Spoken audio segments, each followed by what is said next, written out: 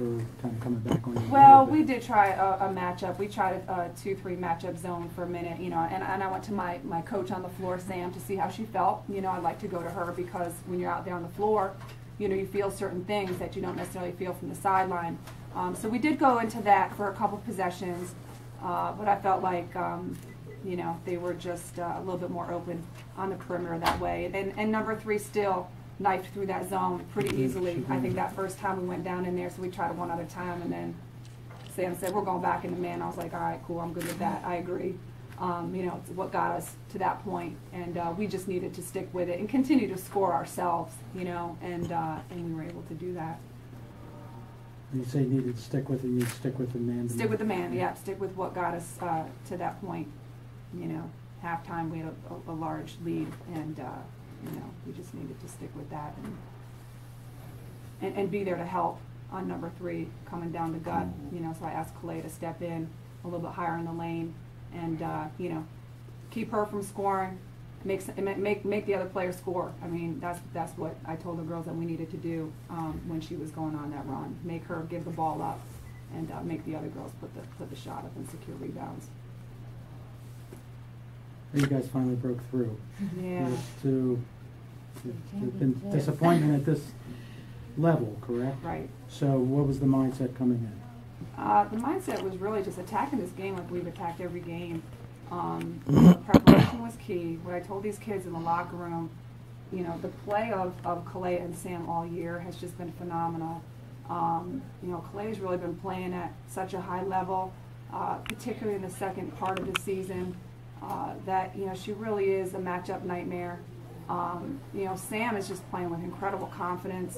Their maturity uh, from, you know, freshman, sophomore year, I mean, they've led this team for two years. Uh, but just there's just an extra level of maturity I think that they came with this year as juniors, as captains, uh, being there before, being hungry to get back, and being hung- hungrier to get to get to that next step. Um, so while we are a young team and we have four freshmen, a sophomore that this is her first year of varsity experience, um, you know, I told them in the locker room they're not playing like freshmen. I don't look at them as freshmen.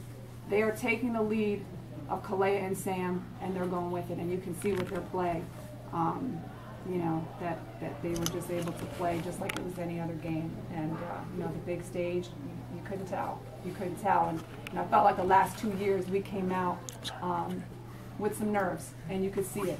Uh, this year, totally different story.